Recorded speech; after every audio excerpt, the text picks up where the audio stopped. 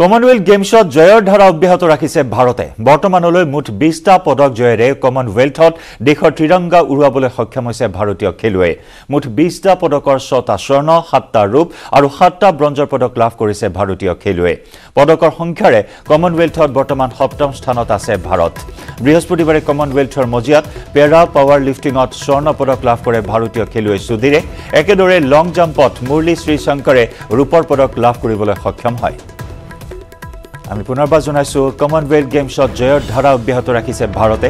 বৰ্তমানলৈ মুঠ বিছটা পদক জয়েৰে কমনৱেলথত দেশৰ ত্ৰিৰংগা উৰুৱাবলৈ সক্ষম হৈছে ভাৰতীয় খেলুৱৈয়ে।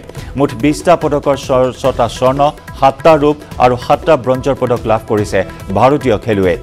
পদকৰ সংখ্যাৰে কমনৱেলথত বৰ্তমান সপ্তম স্থানত আছে ভাৰত।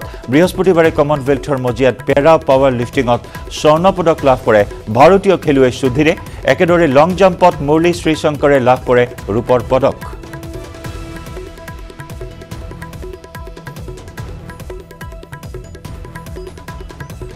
আমাৰ জ্যেষ্ঠ সাংবাদিক বিপুল বৰ্মনৰ সৈতে আমি যোগাযোগ স্থাপন কৰিছোঁ এইখিনি মুহূৰ্তত। বিপুল জয়ৰ ধাৰা অব্যাহত ৰাখিছে ভাৰতে। বিভিন্ন ইভেণ্টত ভাৰতীয় ক্ৰীড়া ক্ৰীড়াবিদ উজলি উঠা পৰিলক্ষিত হৈছে। বিশেষকৈ আজিও অসমৰ কেইবাগৰাকীও অসম সন্তানে আজি অৱতীৰ্ণ হ'ব নিজৰ নিজৰ খেলত। সবিশেষ এই মুহূৰ্তত জানিব বিচাৰিম। বিপুল। জয়ন্ত মই কিন্তু ইমান ভাল ফলাফল হোৱা বুলি নকওঁ ভাৰতবৰ্ষৰ। কাৰণ কিয় দুই হাজাৰ দহ চনত যেতিয়া কমনৱেলথ গেমছ আমি ভাৰতবৰ্ষৰ নতুন দিল্লীত অনুষ্ঠিত কৰিছিলো তেতিয়া আমি চেম্পিয়ন আছিলো। আমি আমাৰ খেলুৱৈসকলে যথেষ্ট ভাল ফলাফল দেখুৱাইছিলে। কিন্তু আজিৰ দিনটোলৈকে আৰু গেম শেষ হ'বলৈ মাত্ৰ মাত্ৰ দুটা দিন বাকী আছে। আঠ তাৰিখে সামৰণি পৰিব। গতিকে অহা কাইলৈ আৰু পৰহিলৈ খেল অনুষ্ঠিত হ'ব। এই মুহূৰ্তত আমি মাত্ৰ ছয় আমি দহটা সোণৰ পদক পাব পৰা নাই। আৰু য'ত নেকি অষ্ট্ৰেলিয়া তেওঁলোকে আজি পঞ্চাছটাৰ ওপৰত স্বৰ্ণ পদক পালে আৰু এশটাৰ ওপৰত মেডেল পালে। গতিকে আমি ভাৰতবৰ্ষ ইমান এখন ডাঙৰ গণতান্ত্ৰিক দেশ আমি আমি অলিম্পিকত আমি স্বৰ্ণ পদক পাওঁ। বিগত অলিম্পিকত আমি আমাৰ নীৰজ চোপ্ৰাই যেনেকে পাইছিলে তাৰ আগতো অভিনৱ বিন্দাই স্বৰ্ণ পদক পাইছিলে। কিন্তু সেই দেশখনে আজি মাত্ৰ ছয়টা স্বৰ্ণ পদক পাবলৈ সক্ষম হৈছে। কাৰণ কমনৱেলথ গেমখন ইয়াত মাত্ৰ ব্ৰিটিছে শাসন কৰা যিখিনি কমনৱেলথ কাউণ্ট্ৰি আছে তেওঁলোকেহে খেলে। ইয়াত চাইনা আমেৰিকা এইবোৰ দেশ নাই। গতিকে মই আশা কৰো যে আৰু দুটা দিনত ভাল আৰু আৰু মেডেল আমি পাব লাগিব। এতিয়া আপুনি সুধিছে আমাৰ খেলুৱৈ কাৰ কাৰ খেল আছে? আজি নিশা হিমা দাসৰ আপুনি কোৱা ধৰণে আজি ছেমি ফাইনেল খেল আছে। আৰু ছেমি ফাইনেলত ইয়াত মুঠতে চৌব্বিছগৰাকী খেলুৱৈ। আজি হিটছত আঠগৰাকী আঠগৰাকী আঠগৰাকী তেনেকে আপোনাৰ তিনিটাকৈ ছেমি ফাইনেল খেল হ'ব আৰু আঠগৰাকীৰ মাজত প্ৰথমতে হ'ব আকৌ নেক্সট আঠগৰাকী হ'ব আকৌ আঠগৰাকীৰ হ'ব। আঠ তিনি গুণ চৌব্বিছগৰাকী খেলুৱৈ আছে কমনৱেলথ দেশসমূহৰ। তাত হিমা দাসো আছে ছেমি ফাইনেলত গতিকে আশা কৰিছো যে আজি ছেমি ফাইনেলত জিকাৰ পিছত এতিয়া ফাইনেলত প্ৰৱেশ কৰিব আৰু যোৱাবাৰ হিমা দাসে ছয় নম্বৰ হৈছিলে আপোনাৰ ছিক্স পজিশ্যন পাইছিলে। গতিকে এইবাৰ আমি আশা কৰিছো অকণমান ভাল হ'লে। আমি এটা যদি মেডেল পাওঁ কালাৰটো মই নকওঁ আৰু লগতে লন বলত নয়নমণি শইকীয়াই ইণ্ডিভিজুৱেল আৰু এটা গেম খেলিব। গতিকে কিন্তু বাকী কিন্তু হতাশজনক খবৰ কাৰণ বক্সিঙত আমি আমাৰ যিসকল তাৰকা খেলুৱৈ আছে লাভলীনাই হওক শিৱথাপাই হওক বা অন্যান্য খেলুৱৈ কেইবাজনো তেওঁলোকে আঁতৰি আহিছে তেওঁলোকে বিদায় লৈছে। যদিও নিকিত নিকাত জাৰান আছে নিকাত জাৰিনে এতিয়া পদকৰ সম্ভাৱনা আছে আৰু অমিত পাংগলৰ আছে ঠিক তেনেকে হুছামুদ্দিনৰ আছে। কিন্তু এনেধৰণে আমাৰ খেলুৱৈ আজি আমাৰ ক্ৰিকেটতো ছেমি ফাইনেলৰ খেল আছে। গতিকে আমি হকীত কিন্তু ভাল ফলাফল দেখুৱাব নোৱাৰিলো পুৰুষত। গতিকে এটা মিশ্ৰিত ফলাফল বুলি মই ক'ব বিচাৰিছো কিন্তু আগন্তুক দুটা দিন আমাৰ ভাৰতবৰ্ষৰ বাবে খুব গুৰুত্বপূৰ্ণ জয়ন্ত। নিশ্চয় বিগত কমনৱেলথ গেমছত কিন্তু বহুখিনি পদক ভাৰতবৰ্ষই লাভ কৰিছিল। বিশেষকৈ ছয়ত্ৰিছটাকৈ পদক লাভ কৰিছিল। এই পদকৰ সংখ্যা হ্ৰাস পোৱাৰ কাৰণ কি হ'ব পাৰে বিপুল? আৰ্চাৰ বা শ্বুটিং কিছুমান খেল কৰ্তন কৰা হৈছে সেয়াও এটা কাৰণ হ'ব পাৰে নেকি? হয় আপুনি এটা গুৰুত্বপূৰ্ণ প্ৰশ্ন কৰিছে। মই সেইকাৰণে আপোনাক কৈছিলো যে মই এই ফলাফলত আচলতে আনন্দিত নহয়। কাৰণ এইটো ভাল ফলাফল নহয় এইটো এটা মিশ্ৰিত ফলাফল। আমি যদি কমনৱেলথ গেমছতে যদি আমি যদি পঞ্চাছটা মেডেল পাব নোৱাৰো তেনেহ'লে আমি আগন্তুক অলিম্পিক পেৰিছ অলিম্পিকত আমি কি দেখুৱাম? কাৰণ ইয়াততো চীন আপোনাৰ জাপান কোৰিয়া আমেৰিকা এইবোৰ দেশ নায়েই। গতিকে ৰাছিয়াও নাই। এতিয়া কথাটো হ'ল যে অন্য দিশত আপুনি আৰ্চাৰী আৰু শ্বুটিঙৰ কথা কৈছে। হয় আৰ্চাৰী জয়ন্ত তালুকদাৰে দুটাকৈ মেডেল পাইছিলে দুহেজাৰ দহ চনৰ কমনৱেলথ গেমছত। সেই ইভেণ্টটো কাটি দিছে। বাৰ্মিংহাম ইংলেণ্ডে হয়তো তেওঁলোকৰ ভাল দল নাই কাৰণে হোষ্ট কাউণ্টিয়ে এইটো গেম ৰখা নাই। লগতে শ্বুটিং যদি থাকিলেহেঁতেন তাতো আমি যথেষ্ট পদক পালোহেঁতেন গতিকে শ্বুটিং আৰু এই যে ইভেণ্টটো আৰ্চাৰী এই ইভেণ্টটো যে কৰ্তন কৰাৰ কাৰণে আমাৰ খুব ইম্পৰ্টেণ্ট আমাৰ প্ৰায় আঠটামান পদক আমি আমি মাইনাছ হৈ গ'ল। তথাপি আমি আশা কৰিছো যে যিহেতু বক্সিঙত আমাৰ কেইবাজনো খেলুৱৈ এতিয়াও আছে অসমৰ খেলুৱৈ দুজনে বিদায় লৈছে যদিও মই আকৌ কৈছো নিকাত জাৰিন আছে হুছামুদ্দিন আছে অমিত পাংগল আছে এনেধৰণৰ বহুখিনি খেলুৱৈ এতিয়াও আছে আৰু লগতে আমি ক্ৰিকেটত ছেমি ফাইনেল পাইছো মহিলাত আৰু হিমা দাসৰ বা এথলেটিক্সত বহুখিনি খেলুৱৈ আছে। যদি আমি অকমান আৰু যদি বিশটা পদক পাব পাৰো তেতিয়াহ'লে হয়তো আমি পঞ্চাছটাৰ ওচৰলৈ গ'লে আমাৰ সন্মান ৰক্ষা হ'ব জয়ন্ত। নিশ্চয় ধন্যবাদ। বিপুল ধন্যবাদ জ্ঞাপন কৰিছোঁ আপোনাক। কিছু নিৰাশাজনক প্ৰদৰ্শন তুলনামূলকভাৱে যিখিনি বিশ্লেষণ বিপুল বৰ্মনে দাঙি ধৰিছে তাৰ পৰা এটা কথাই প্ৰমাণিত হৈছে যে কিছু যেন এইবাৰ কমনৱেলথ গেমছত পিছ পৰি আছে ভাৰত।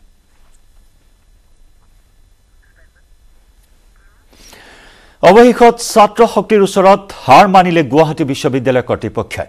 মঙলবাৰে গুৱাহাটী বিশ্ববিদ্যালয়ত হোৱা শিক্ষাৰ্থীৰ প্ৰতিবাদ আৰু আৰক্ষীৰ বৰ্বৰতাৰ সৈতে বিশ্ববিদ্যালয় কৰ্তৃপক্ষৰ কোনো সম্পৰ্ক নাই বুলি পত্ৰ প্ৰেৰণ কৰিলে বিশ্ববিদ্যালয়ৰ স্নাতকোত্তৰ ছাত্ৰ সন্থালৈ প্ৰতিবাদৰ কথা গম পাই আৰক্ষীয়েহে নিজাববীয়াকৈ পদক্ষেপ লৈছিল জালুকবাৰী আৰক্ষীয়ে। আজি প্ৰেৰণ কৰা এক পত্ৰযোগে পুনৰ জনাইছোঁ কালি প্ৰেৰণ কৰা এখন পত্ৰযোগে এই কথা স্পষ্ট কৰিছে গুৱাহাটী বিশ্ববিদ্যালয় কৰ্তৃপক্ষই। ঘটনাৰ উত্তৰ বিচাৰি স্নাতকোত্তৰ ছাত্ৰ সন্থাই বিশ্ববিদ্যালয় কৰ্তৃপক্ষক দিয়া স্মাৰক পত্ৰৰ উত্তৰত এই কথা জনাইছে কৰ্তৃপক্ষই। স্মাৰক পত্ৰখনত পাঁচটাকৈ দাবী সন্নিৱিষ্ট কৰিছিল স্নাতকোত্তৰ ছাত্ৰ সন্থাই। মঙলবাৰে সংঘটিত ঘটনাক লৈ অসন্তুষ্ট বুলি উল্লেখ কৰিছে গুৱাহাটী বিশ্ববিদ্যালয় কৰ্তৃপক্ষই। পত্ৰত জনোৱা অনুসৰি স্নাতক পঞ্চম ষান্মাসিকৰ পৰীক্ষাৰ ফলাফল বিসংগতিৰ ক্ষেত্ৰতো ব্যৱস্থা লোৱা হ'ব বুলি জানিবলৈ দিয়া হৈছে। ইতিমধ্যেই ফলাফল পুনৰীক্ষণৰ বাবে সিদ্ধান্ত লোৱা হৈছে বুলি জনাই গুৱাহাটী বিশ্ববিদ্যালয় কৰ্তৃপক্ষই। ইফালে বৰ্তমানৰ আই ইউ এম এছ ব্যৱস্থা অতি শীঘ্ৰেই আঁতৰোৱা হ'ব বুলি উল্লেখ কৰে। আই ইউ এম এছৰ দায়িত্ব থকা আই টি কোম্পানীক চলিত মাহৰ শেষত অব্যাহতি দিব বুলি উল্লেখ কৰে পত্ৰত। মন কৰিবলগীয়া যে পি জি এছ ইউৱে অনলাইন প্ৰক্ৰিয়াৰ নডেল বিষয়াক আঁতৰোৱাৰ দাবী সংক্ৰান্ততো বিবেচনা কৰিব বুলি পত্ৰত উল্লেখ কৰা হৈছে। বিশ্ববিদ্যালয় কৰ্তৃপক্ষৰ পৰা পত্ৰ লাভ কৰাৰ পাছতে প্ৰতিক্ৰিয়া প্ৰকাশ কৰিছে পি জি এছ ইউৰ সদস্যসকলে।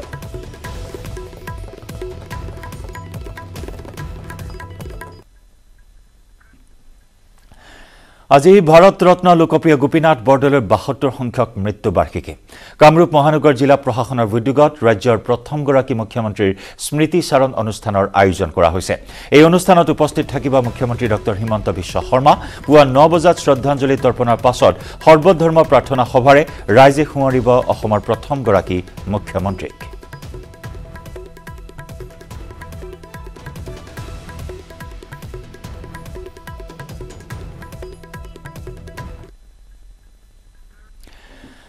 চৰকাৰে এলাগী নকৰে মাতৃভাষাক। চৰকাৰে লোৱা সিদ্ধান্তৰ জৰিয়তে শিক্ষাৰ্থীসকল উপকৃতহে হ'ব। প্ৰণালীবদ্ধভাৱে ইংৰাজী শিক্ষা প্ৰদান কৰা হ'ব বুলি মন্তব্য কৰে শিক্ষামন্ত্ৰী ডাঃ ৰণোজ পেগুৱে। আমি অসমীয়া ইংৰাজী দুয়োটা ভাষাৰে গুৰুত্ব আছে আৰু আমি আমাৰ মাতৃভাষাৰ মাধ্যমৰ কোনো শিক্ষা অনুষ্ঠানৰ পৰা মাতৃভাষা প্ৰত্যাহাৰ কৰাৰ কোনো সিদ্ধান্ত লোৱা নাই আমি ভৱিষ্যতেও নলওঁ। আমাৰ মাতৃভাষাৰ মাধ্যমৰ বিদ্যালয়সমূহ যেনে আছে তেনেই থাকিব। কিন্তু তাৰ সমান্তৰালকৈ তাৰ লগে লগে আমি আমাৰ ছাত্ৰ ছাত্ৰীসকলক যাতে ইংৰাজী শিক্ষাও যাতে দিব পাৰোঁ প্ৰণালীবদ্ধভাৱে সৰুৰ পৰা। তাৰ কাৰণেহে দুটা বিষয় ইংৰাজী মাধ্যমত গণিত গণিতৰতো নিজা ভাষা থাকে বা মেথেমেটিক্স মেথেমেটিক্স আৰু ছায়েন্স এইকেইটা আমাৰ ইংৰাজী ভাষাত দিয়াৰ হ'ব পাঠ্যক্ৰমী। লগত আমাৰ ভূগোল আৰু বুৰঞ্জী দুটা নতুন বিষয় ইণ্ট্ৰডিউচ হ'ব। ভূগোল বুৰঞ্জী দুয়োটা মাতৃভাষাতে থাকিব। গতিকে মাতৃভাষাও অনুশীলন কৰিব ইংৰাজী ভাষাও অনুশীলন কৰিব ছাত্ৰ ছাত্ৰীসকল তাৰ দ্বাৰা উপকৃত হ'ব। ডিগবৈত বীৰ লাচিত সেনাৰ কেন্দ্ৰীয় সমিতিৰ সংবাদমেল দুই আগষ্টত ডিগবৈত বীৰ লাচিত সেনা কৰ্মীৰ ওপৰত লাঠি চালনাৰ ঘটনাক তীব্ৰ গৰিহণা সংগঠনটোৰ। মাৰ্গেৰিটা মহকুমা আৰক্ষী বিষয়া হেমন্ত বড়ো আৰু তিনিচুকীয়া সদৰ থানাৰ আৰক্ষী বিষয়া পৰাগজ্যোতি বুঢ়াগোহাঁইক নিলম্বনৰ দাবীত ৰাজ্যজুৰি প্ৰতিমূৰ্তি দাহ কাৰ্যসূচী ঘোষণা। বীৰ লাচিত সেনাৰ কাৰ্যালয়ত মাৰ্গেৰিটা মহকুমা আৰক্ষী বিষয়া হেমন্ত বড়োৱে প্ৰৱেশ কৰি লাচিত বৰফুকনৰ প্ৰতিমূৰ্তিৰ সন্মুখত জ্বলি থকা চাকি গুৰিয়াই ভঙাৰ গুৰুতৰ অভিযোগ উত্থাপন কৰে সংগঠনটোৱে। তিনিচুকীয়া সদৰ থানাৰ আৰক্ষী বিষয়া পৰাগজ্যোতি বুঢ়াগোহাঁয়ে বীৰ লাচিত সেনাৰ সৈনিকক এনকাউণ্টাৰ কৰাৰ ভাবুকিক তীব্ৰ প্ৰত্যাহ্বান জনাইছে সংগঠনটোৰ নেতাই। আৰক্ষী বিষয়াদ্বয়ক ৰাজহুৱা ক্ষমা খোজাৰো দাবী জনাইছে। বীৰ লাচিত সেনাৰ সৈনিকক প্ৰহাৰ কৰাৰ প্ৰতিবাদত অসম বন্ধ কাৰ্যসূচীৰো ঘোষণা কৰাৰ হুংকাৰ দিয়ে। এজনী ছোৱালীক কেনেকে আমাৰ এগৰাকী সৈনিকক এজনী মহিলা সৈনিকক কেনেকে পুৰুষ পুলিচে হাত দিব পালে তাৰ উত্তৰ লাগিব। আৰু যদি এছ ডি পি অ' ক্ষমা নোখোজে আৰু S D P O suspend নকৰে এইটো বিষয়ত অসম উত্তাল হ'ব আৰু কোনোবাই লাচিত বৰফুকনৰ প্ৰতিমূৰ্তিত জ্বলি থকা চাকি গোৰ মাৰি ভাঙিব তেওঁ লাগিলে এছ ডি পি অ নহয় তেওঁক যিমান ওপৰৰ পদবী নহওক সেইটো কাম ইয়াত কৰিব দিয়া নহ'ব। আৰু S D P O suspend কৰিব লাগিব। চি এ এৰ বিৰুদ্ধে আন্দোলন কৰিলে সময়হে নষ্ট হ'ব তাৰ বাবে একো নহয়। চি এ এ বিৰোধী আন্দোলনকাৰী কটাক্ষ ৰাজ্যিক বিজেপিৰ সভাপতি ভৱেশ কলিতাৰ চি এ এ আন্দোলনৰ জৰিয়তে একাংশই চাকৰি ঠিকা লোৱাৰ বাহিৰে একো নহ'ল। আন্দোলনৰ ফলত অসমত বহু ৰাজহুৱা সম্পত্তি ধ্বংস হ'ল বুলিও মন্তব্য কৰে ভৱেশ কলিতাই। আন্দোলন কৰাবিলাকে কৰি যাব। আমি আমাৰ চৰকাৰৰ যি কাম আছে আমি কৰি যাম। ইতিমধ্যে কা আইনত পৰিণত হৈছে? আইনত প্ৰয়োজন হোৱাৰ পিছত ইয়াক বহুতে কৈছিলে আমি কা আন্দোলন মানে বাতিল কৰিম। বাতিল কৰি কোনোবা কোনোবাই চাকৰি পালে কোনোবা কোনোবাই ঠিকা ল'লে কোনোবাই কোনোবাই সাংসদ হ'ল তো সেইবিলাক কাম কৰিব পাৰিব। পাব্লিকৰ সম্পত্তি লছ কৰিব পাৰিব সময় নষ্ট কৰিব তাত বাহিৰে একো কৰিব নোৱাৰে।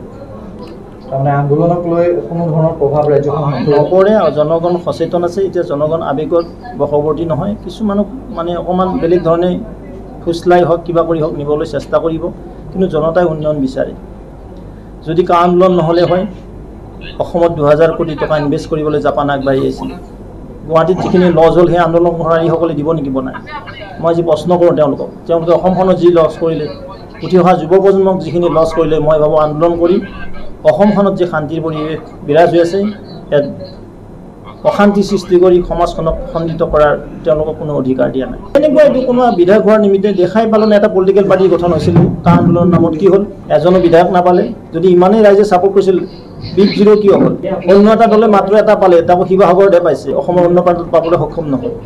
ঠিক তেনে এজনে সাংসদ হৈ গ'ল কা আন্দোলন কৰি। তাত বাহিনী ৰাইজৰ কি হ'ল? অসমৰ জনগণে যে আন্দোলন কৰিছিল তেওঁলোকে কি পালে? গুড মৰ্ণিং এইটিনৰ পৰৱৰ্তী অংশলৈ যোৱাৰ পূৰ্বে লৈছো আন এটি চমু বাণিজ্যিক বিৰতি। চলিত বৰ্ষৰ দুই অক্টোবৰৰ পৰা ৰাজ্যত আৰম্ভ হ'ব মিছন বসুন্ধৰাৰ দ্বিতীয় পৰ্যায়। দ্বিতীয় পৰ্যায়ৰ আঁচনিৰ অধীনত গুৱাহাটীবাসীয়ে লাভ কৰিব ভূমিৰ পট্টা। এই মন্তব্য অসম চৰকাৰৰ ৰাজহ মন্ত্ৰী যোগেন মহনৰ। নুনমাটিত অনুষ্ঠিত হোৱা পূব গুৱাহাটী ভূমি সংস্কাৰ সমিতিৰ বাৱন্ন সংখ্যক প্ৰতিষ্ঠা দিৱসত অংশগ্ৰহণ কৰি এই মন্তব্য প্ৰদান কৰে মন্ত্ৰীগৰাকীয়ে। মিছন বসুন্ধৰাৰ দ্বিতীয় পৰ্যায়ত গুৱাহাটীৰ চৰকাৰী ভূমিত দীৰ্ঘদিন ধৰি বসবাস কৰি থকা খিলঞ্জীয়া বাসিন্দাসকলক মাটিৰ পট্টা প্ৰদান কৰা হ'ব বুলি উল্লেখ কৰা হৈছে।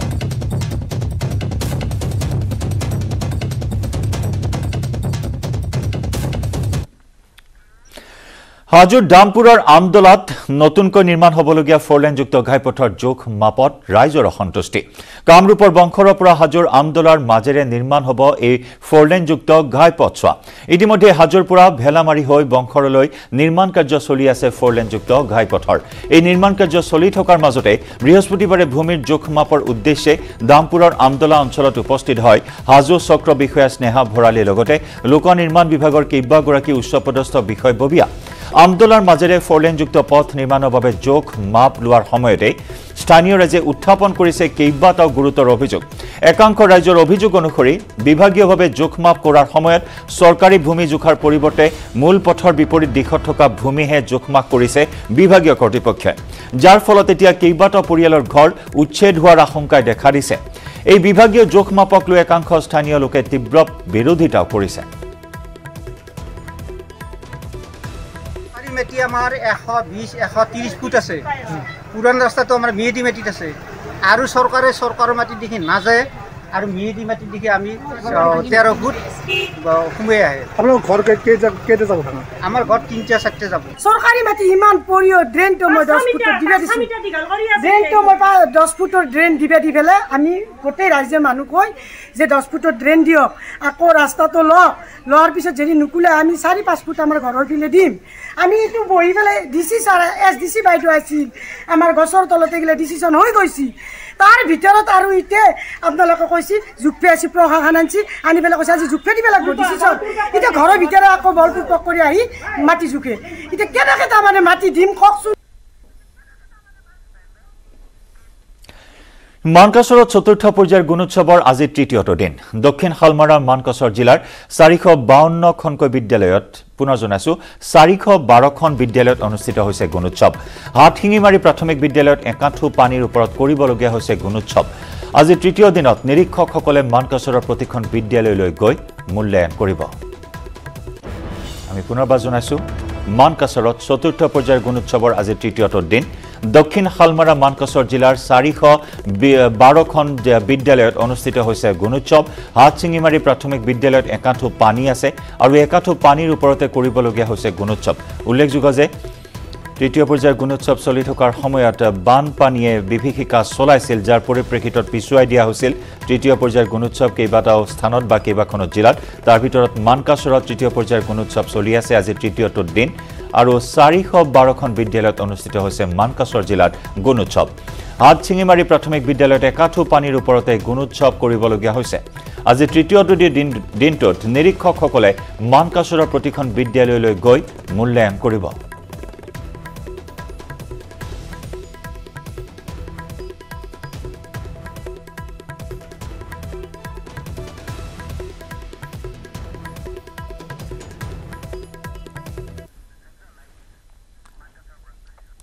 আৰু এইখিনি মুহূৰ্তত আমি যোগাযোগ স্থাপন কৰিছো আমাৰ মানকাছৰৰ সংবাদদাতা শ্বাহজাহান আলীৰ সৈতে। শ্বাহজাহান কোনখন বিদ্যালয়ত আপুনি উপস্থিত আছে? কেনেকুৱা পৰিৱেশ তাত? কেনেকুৱা ধৰণৰ আয়োজন চলিছে আজি তৃতীয়টো দিনৰ তৃতীয় পৰ্যায়ৰ গুণোৎসৱৰ? নিৰীক্ষকৰ ৰূপত কোন থাকিব বিদ্যালয়ত?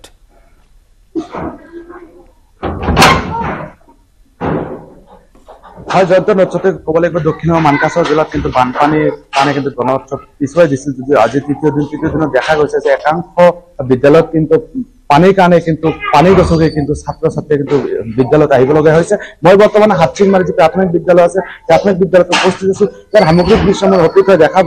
এনেদৰে কিন্তু যি একাটো পানী একাটো পানীৰ কাৰণে কিন্তু বিদ্যালয়ত কিন্তু ক্লাছ কৰিব নোৱাৰে। কিন্তু বিগত দিনত কিন্তু এই বিদ্যালয়খন বন্ধ আছিলে। গণোৎসৱৰ কাৰণে কিন্তু বিদ্যালয়খন খুলিছে যদিও কিন্তু ছাত্ৰ ছাত্ৰীসকলে কিন্তু ক্লাছ কৰিব নোৱাৰে পাঠদান কৰিব নোৱাৰে। বাৰাণ্ডাত বহিয়ে কেতিয়াবা পাঠদান কৰা শিক্ষক শিক্ষক শিক্ষয়িত্ৰীসকলে নিশ্চিত ক'ব লাগিব। গণোৎসৱৰ জৰিয়তে বিদ্যালয়ৰ আন্তঃগাঁথনি তথা বিদ্যালয়ৰ যি শৈক্ষিক দিশত আগবাঢ়াবলৈ চেষ্টা কৰিছে চৰকাৰে একাংশ বিদ্যালয় সফলাৰ স্বৰূপ কিন্তু উদঙাই দিছে গণোৎসৱৰ জৰিয়তে। নিশ্চিতকৈ এটা কথা ক'ব লাগিব আজি বহুমূল্যায়ন তৃতীয় তৃতীয় দিনত এই বহিমূল্যায়ন কিন্তু নিৰীক্ষকসকলে বিদ্যালয় বিদ্যালয় গৈ বিদ্যালয় পৰ্যবেক্ষক হিচাপে পৰ্যবেক্ষণ কৰিছে। যদিও এইখন যি হাচিংমাৰী প্ৰাথমিক বিদ্যালয় আছে প্ৰাথমিক বিদ্যালয়ত কিন্তু দেখা গৈছে গণোৎসৱৰ তৃতীয় দিনত কিন্তু বহিমূল্যায়নত কিন্তু দেখা গৈছে যে পানী গছকি কিন্তু ছাত্ৰ ছাত্ৰীসকলে কিন্তু এনেদৰে বানপানীৰ বাবে পিছুৱাই দিয়া হৈছিল কিন্তু পানীৰ মাজতে একাঠো পানীৰ মাজতে গুণোৎসৱ আৰম্ভ হৈছে। শ্বাহজাহান আমি কিছু সময় বিদায় জনাম আপোনাক। পৰৱৰ্তী বুলেটিনত পুনৰ সংযুক্ত হ'ম আৰু এই পৰিৱেশ আপোনাক দেখুৱাম। যথেষ্ট অসুবিধাৰ সন্মুখীন হৈছে। একাঠো পানী এতিয়াও বিদ্যালয় চৌহদত আৰু পানী গছকি বিদ্যালয়লৈ আহিছে ছাত্ৰ ছাত্ৰী শিক্ষক শিক্ষয়িত্ৰী।